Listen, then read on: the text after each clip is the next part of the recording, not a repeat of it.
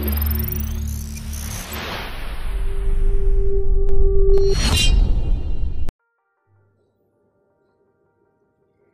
मेरे भाइयों, कैसे हो आप सब?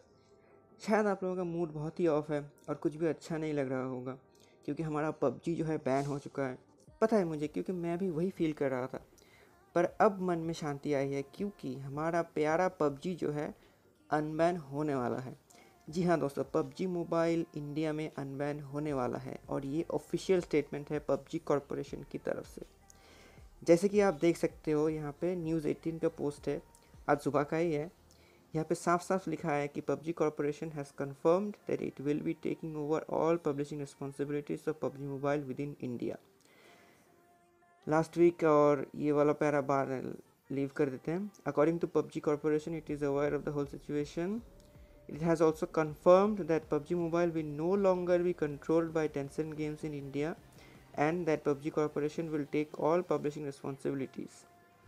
इसका मतलब है कि टेंसेंट को जो है वो पबजी कॉरपोरेशन हटा रही है अपनी पार्टनरशिप से और सारी जो सर्वर्स वगैरह सब डेटा वगैरह है वो शायद इंडिया में ही बनाए या फिर साउथ कोरिया में ले जाएँगे वो लोग जहाँ पे PUBG mobile south Korean version है वहाँ पे भाई साहब इसका मतलब है कि हमारा पबजी अब ऑफिशियली अनबैन होने वाला है।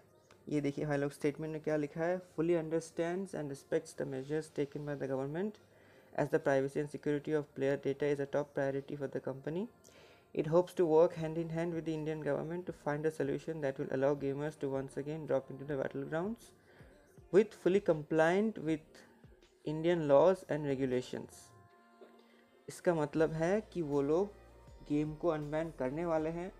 बस सर्वर्स को जो है, वो लोग चाइना से अपनी यहाँ पर लेके आएँगे। यहाँ पे शायद इंडिया में ही बना ले सर्वर्स या फिर साउथ कोरिया में ले जाएँगे। यहाँ पे स्पेसिफिकली मेंशन तो नहीं है कि सर्वर्स तब तक एक्टिव रहेंगे या नहीं, जैसे कि अभी एक्टिव है, अभी हम लोग खेल पा रहे हैं गेम को। शायद एक्टिव रहेंगे, हम लोग खेल भी पाएँगे जिन जिनके पास पबजी अभी भी इंस्टॉल्ड है। और जिन लोगों के पास अनइंस्टॉल्ड है, वो लोग तो इंस्टॉल कर ही सकते हैं ए के डाउनलोड करके। पर आईओएस वालों, वो लोग कर नहीं पाएँगे अगर वो लोग अनइंस्टॉल कर दिया है।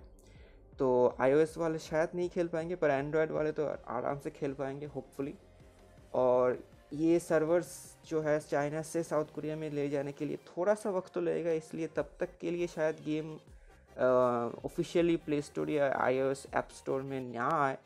पर इन लोगों के पास गेम है अभी भी, वो लोग शायद गेम को खेल पाएँगे इजीली नो इशू तो भाई लोग हाँ ये ऑफिशियल स्टेटमेंट है न्यूज़ एटीन का वेबसाइट पे आप लोग देख रहे हैं ऑफिशियल स्टेटमेंट पबजी वालों ने रिलीज़ किया है। ये कोई मतलब कोई मनगढ़ंत कहानी नहीं है या फिर कोई सोचा हुआ बात नहीं है।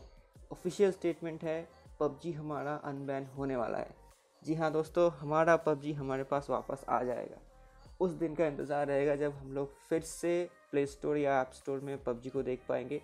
और तब तक के लिए शायद सर्वर्स एक्टिव रहे और शायद हम लोग गेम को खेल पाएँगे तब तक के लिए।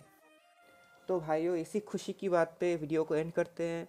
और सब लोग जो उदास बैठे थे, पबजी नहीं है पबजी बैन हो गया, पबजी अब कैसे खेल पाएँगे?